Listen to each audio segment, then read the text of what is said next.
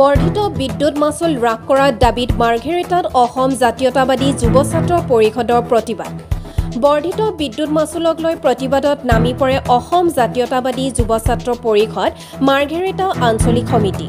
মাৰ্ঘেৰিটাৰ কেন্দ্ৰীয় খেলপথাৰৰ পৰা মাৰ্ঘেৰিটাৰ তিনিশ পোন্ধৰ নং ৰাষ্ট্ৰীয় ঘাইপথলৈকে অসম চৰকাৰ হাই হাই বিদ্যুৎ মন্ত্ৰী মুৰ্দাবাদ শ্লোগানেৰে পদযাত্ৰাৰে প্ৰতিবাদ সাব্যস্ত কৰে।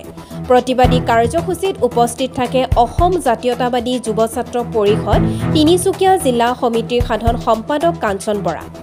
অসম চৰকাৰ হাই হাই।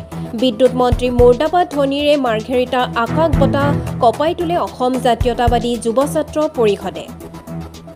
মাৰ্ঘেৰিটাৰ ৰাজপথত বিদ্যুৎ মন্ত্ৰী নন্দিতা গাৰ্লুছাৰ প্ৰতিকৃতি দাহ কৰাৰ লগতে যদিহে ৰাজ্য চৰকাৰে বিদ্যুৎৰ মাচুল অনতিপলমে হ্ৰাস নকৰে তেন্তে অনাগত সময়ত তীব্ৰ আন্দোলনৰ হুংকাৰ দিয়ে অসম জাতীয়তাবাদী যুৱ ছাত্ৰ পৰিষদ তিনিচুকীয়া জিলা সমিতিৰ সাধাৰণ সম্পাদক কাঞ্চন বৰাই। ডিগবৈৰ পৰা বিনন্দ কোঁৱৰৰ report all Assam news thirty. Yuva Chhatra Parishad কেন্দ্ৰীয় সমিতিৰ নিৰ্দেশমৰ্মে সমগ্ৰ অসমৰ লগতে আমি অসম জাতীয়তাবাদী যুৱ ছাত্ৰ পৰিষদ ডিগবৈতো আমি কেন্দ্ৰীয় কেন্দ্ৰীয় বিদ্যুৎ মাচুল বৃদ্ধিৰ প্ৰতিবাদত আজি আমি এই শক্তিমন্ত্ৰী পুষ্পলিকা দাস কৰি আমি তীব্ৰ প্ৰতিবাদ কৰিছোঁ। আৰু আমি ইয়াকে ক'ব বিচাৰিছোঁ যে আজি এই উৎসৱৰ বতৰত বিভিন্ন ধৰণৰ বস্তু আজি দাম বাঢ়ি গৈছে বজাৰত মানুহৰ মধ্যবিত্ত পৰিয়াল আজি চলিবলৈ অসুবিধা হৈ গৈছে। তেনে সময়তে বিদ্যুতৰ পুনৰ বৃদ্ধি কৰি মানে জনসাধাৰণৰ যি মানে অসুবিধা পেলাইছে তাক আমি তীব্ৰ প্ৰতিবাদ জনাই আমি আজি এই প্ৰতিবাদ সাব্যস্ত কৰিছোঁ। ডিগবৈত আগতে আৰ চি আই কাৰেণ্ট দিছিলে এতিয়া নিদিয়া হ'ল। বস্তুটো কি আপোনালোকে কেনেদৰে চাইছে বিষয়টো? এই বস্তুটো আগতেতো দিছিলে কিন্তু আজিকালি দিয়া নাই কি কাৰণে দিয়া নাই এইটো তেওঁলোকে গম পাব।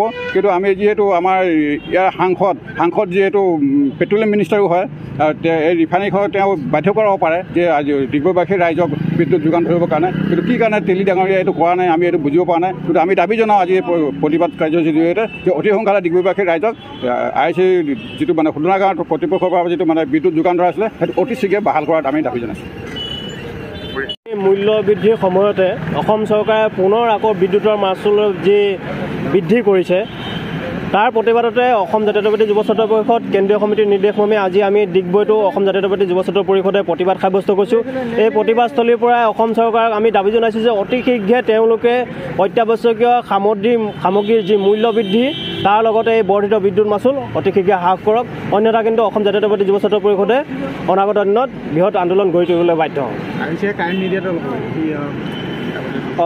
বিশেষকৈ আমাৰ ডিগবৈ অঞ্চলত যিটো ল'ড শ্বেডিঙৰ সমস্যা সমাধানৰ কাৰণে আগতে ডিগবৈ আই এছ এল কৰ্তৃপক্ষই বিদ্যুৎ যোগান ধৰিছিলে এই ক্ষেত্ৰত কিন্তু কি হ'ল আমি ভিতৰৰ কথাটো নাজানো কিন্তু মাজতে তেওঁলোকে এতিয়া বন্ধ কৰি ৰাখিছে।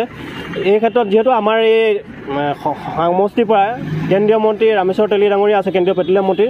তেখেতক আই এছ এ কৰ্তৃপক্ষ শোধনা শোধনাগাৰৰ কৰ্তৃপক্ষৰ লগত যোগাযোগ কৰি ডিগবৈ ৰাইজৰ যিটো ল'ড শ্বেডিং সমস্যা সমাধানৰ কাৰণে পুনৰ সেই শোধনাগাৰৰ যিটো বিদ্যুৎ যোগান ধৰিছিলে সেইটো বাহাল ৰাখিবলৈ আমি দাবী জনাইছোঁ। সুন্দৰ।